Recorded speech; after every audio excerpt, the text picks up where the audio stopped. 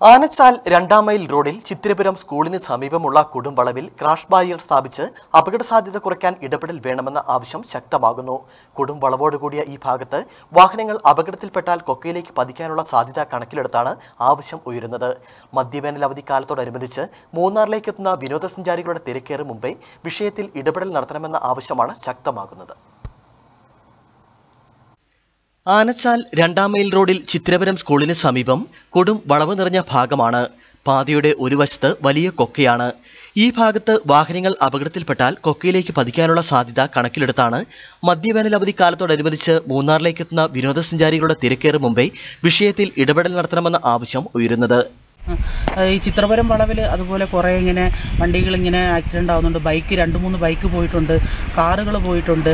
അതുപോലെ തന്നെ കുറേ വിനോദസഞ്ചാരികൾ ഇതിലെ വരുന്നതാണ്. അവർ ആ തേയിലക്കാട്ടിലോട്ട് ഇറങ്ങുമ്പോഴായിരിക്കും ഈ വണ്ടികൾ പോയി വീഴുന്നത്. അപ്പോൾ അവരുടെ ജീവ ജീവന് ഒരു ഉത്തരവാദിത്വവും ഇല്ല. അതിനായിട്ടുള്ള ഒരു സംവിധാനം ചെയ്ത് അധികൃതർ എന്തായാലും സമ്മാനിക്കണം മുമ്പ് ഈ മേഖലയിൽ വാഹനാപകടങ്ങൾ സംഭവിച്ചിട്ടുള്ളതായി സമീപവാസികൾ പറഞ്ഞു. വഴി പരിചിതമല്ലാതെ എത്തുന്നവർ രാത്രികാലങ്ങളിൽ റോഡിന്റെ ദിശ മനസ്സിലാവാതെ അപകടത്തിൽപ്പെടാനുള്ള സാധ്യതയും നിലനിൽക്കുന്നുണ്ട്. അപകട സാധ്യത കുറയ്ക്കാൻ പാതയോരത്ത് നിലവിൽ കാര്യമായ സുരക്ഷാ ക്രമീകരണങ്ങൾ ഒന്നും ഒരുക്കിയിട്ടില്ല. മൂന്നാറിലേക്കുള്ള യാത്രാമധ്യേ ആളുകൾ വാഹനങ്ങൾ നിർത്തി ചിത്രങ്ങൾ പകർത്തുന്ന പ്രദേശം കൂടിയാണ് ഇവിടം. News bureau Adimali.